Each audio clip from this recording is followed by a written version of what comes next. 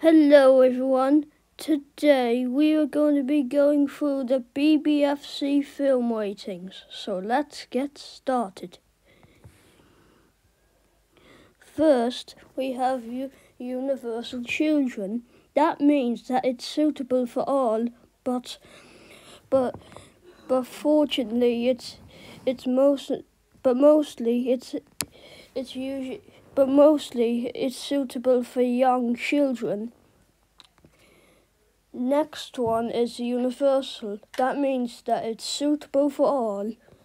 The next one and is parental guidance. That which means that it's general viewing, but some scenes may be unsuitable for young children. Next one, next one and is tw- is twelve A. A, which means that that so, uh, that some uncontents may, may be suitable for children for for, for for children, but but some contents may may not be suitable for children under twelve. Next one is twelve.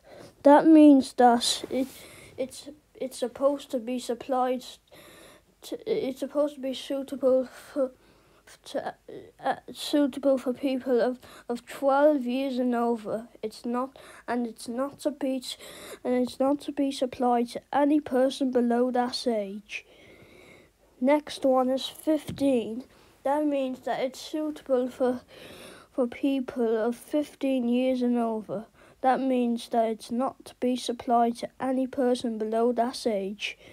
Next one is is 18.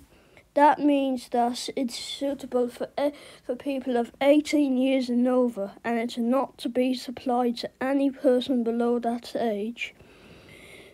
Next one is restricted 18.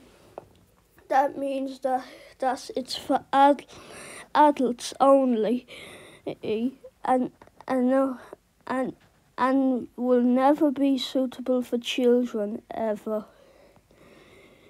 So that was, so that was all the BBFC film ratings. Bye.